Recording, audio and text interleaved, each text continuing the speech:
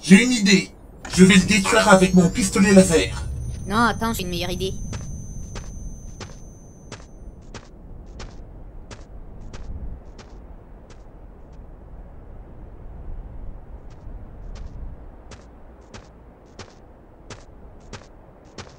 Voilà, c'est fait. En effet, je détecte plus le champ zéro. Comment as-tu fait? J'ai appuyé sur le bouton off. Ah.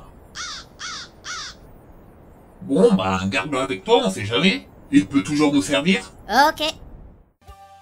Allez à l'épisode 25.